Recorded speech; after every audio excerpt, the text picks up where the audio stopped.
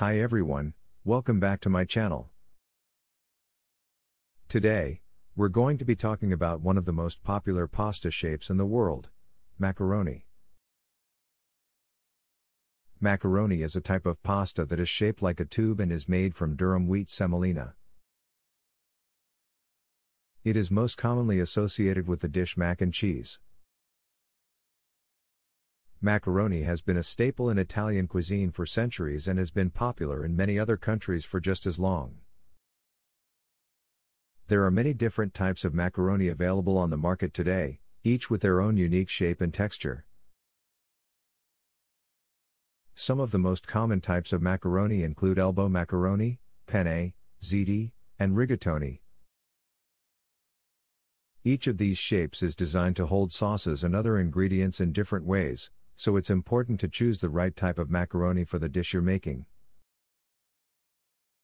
Cooking macaroni is a simple process. All you need is a pot of salted water, macaroni, and a little bit of oil to keep the pasta from sticking together. Bring the water to a boil and then add the macaroni, cooking for about 8 to 10 minutes or until al dente. Then, Drain the macaroni and add it to your dish.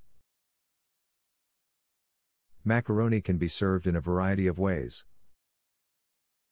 It is a versatile pasta that can be used in soups, salads, or casseroles. It is also a popular ingredient in mac and cheese, a dish that is loved by people of all ages. And that's it for today's video on macaroni. I hope you learned something new and that you'll give this delicious pasta shape a try. Don't forget to like, comment, and subscribe for more videos like this one. Thanks for watching.